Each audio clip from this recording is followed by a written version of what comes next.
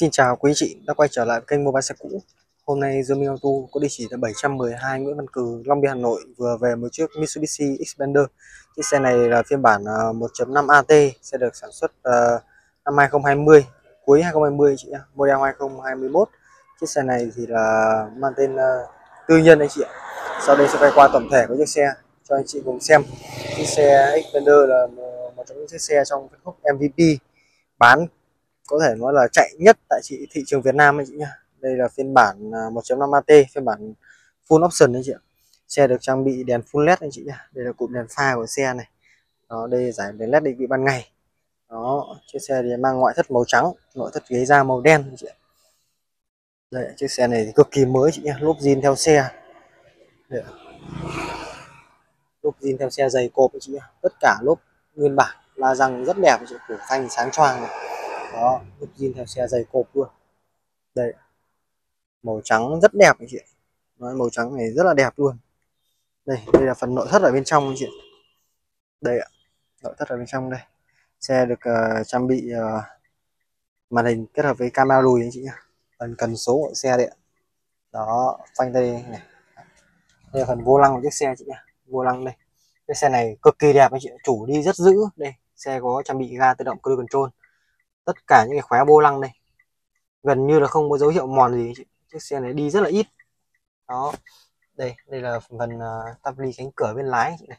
Nó xe trang bị uh, gương kính chỉnh điện ghế da bên lái nữa. Đây ghế da bên lái này. Ghế da bên phụ chị này. Căng đét luôn chị. Nó xe cũng đã lắp nẹp inox chống xước rồi. Lắp ly cánh cửa đây. Chiếc xe này thì theo chỉ nguyên bản. 100 phần trăm chị. Kiểm tra thoải mái chị. Đó. Đây. Tắp ly cánh cửa ở phía sau chị này. Keo chỉ này. Đó, tất cả đều nguyên bản hết chị. Chị yên tâm 100 phần trăm. Đây đây là ghế da hàng ghế thứ hai đây.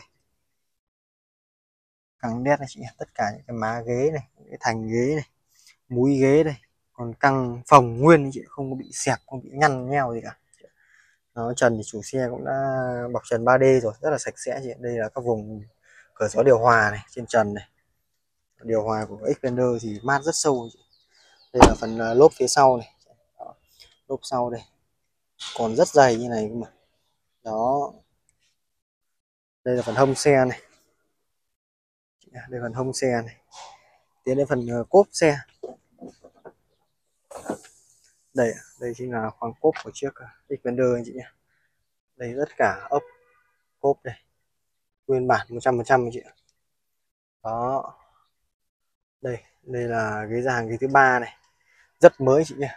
Gần như là không có dùng hàng ghế thứ ba mấy anh chị bên thành nhựa này. đó. Tấm nỉ này. Mới vô cùng luôn đó.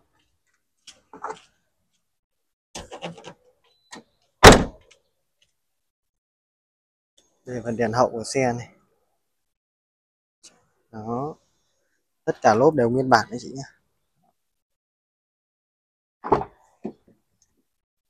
đây, tạp đi cánh cửa đây. Keo chỉ đây. Nguyên bản hết ghế da mới tinh luôn. Phải nói là chiếc xe này đi cực kỳ dữ anh chị.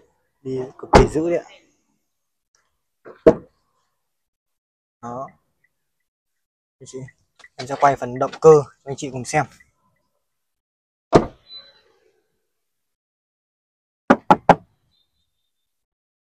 Đó.